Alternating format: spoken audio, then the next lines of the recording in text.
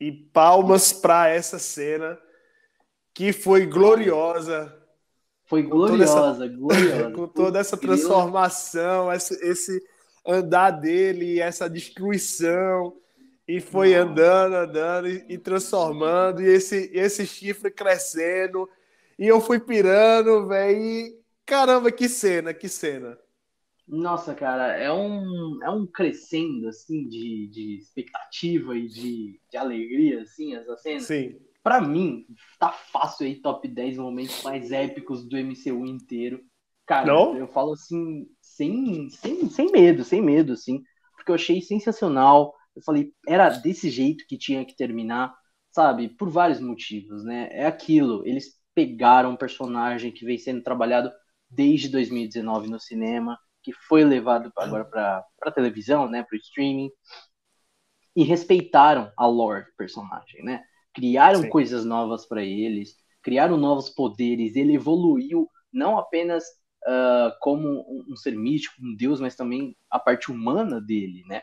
O Loki ele fez amigos, ele começou a se importar com as pessoas, mas ele chega lá no final, né? Ele que sempre quis o trono, né, de Asgard e o trono depois da Terra, ele sempre esteve em busca de um trono, ele finalmente encontrou o, trono, trono dele ali no centro do, da existência, né? E nossa, conforme ele ia andando e pegando e agarrando aquelas linhas do tempo, eu achei aquela cena sensacional, assim. Nossa. É, e aí ele sentado, aí a câmera afasta e a gente vê a Yggdrasil, a árvore da vida, né, da mitologia nórdica, para quem não conhece, né? A mitologia é nórdica uh, o mundo, ele o universo, né, ele seria uma grande árvore, né? Isso aí que a gente está vendo. E todos os reinos, né, Asgard, Hel, é, Midgard, eles estariam, né, eles seriam galhos, né, digamos assim, dessa árvore. E, e, pô, foi até uma coisa que eu falei com o Roberto, uh, em, acho que é na live do episódio 3, acho que era uma live que você não tava, Lúcio, eu acho que foi no episódio 3, se não me engano. Acho que foi. Acho que, acho que foi, foi do episódio 3, senhor.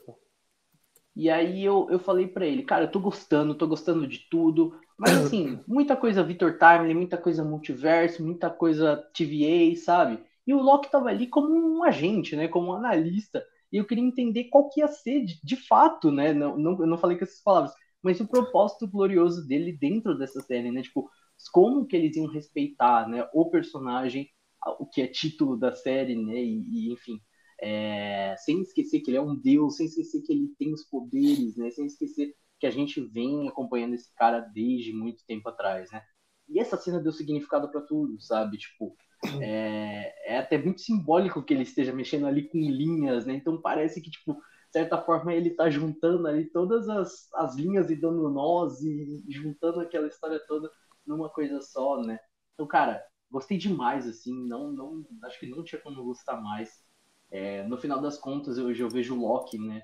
No geral, assim, né, as duas temporadas como. Principalmente essa, né? Vamos focar nessa segunda temporada. Mas como a Marvel no seu ápice, né? A Marvel que faz coisas muito boas, tem personagens muito bons.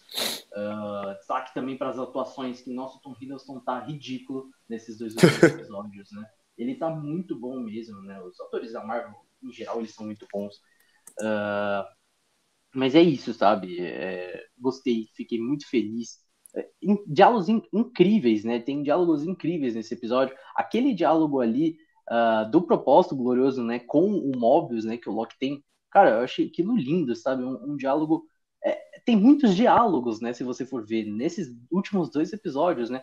Interpretação e bateção e troca de poder, sabe? Uh, tem, tem muita gente parada, sentada e conversando, assim, e discutindo sobre, enfim, várias, várias questões aí, né, são abordadas na série. E essa cena que ele, que ele tá com o Mobius, né, que ele volta, né, ali pro comecinho, seria da primeira temporada, né, e conversa com ele, fala com ele sobre o propósito, e o Mobius fala que ele tinha uma missão e que ele tinha que matar um menino, etc e tal, e não conseguiu. Cara, achei animal, assim, também um dos pontos altos para mim do episódio Uh, mas, cara, é, eu, eu vou até parar de falar, vou deixar você falar um pouco, senão eu vou falar um monte de coisa aqui. eu tô gostando, você tá empolgadaço também. Nossa, então eu, tá eu fiquei muito feliz, muito feliz mesmo que esse, Não, esse assim, sobre,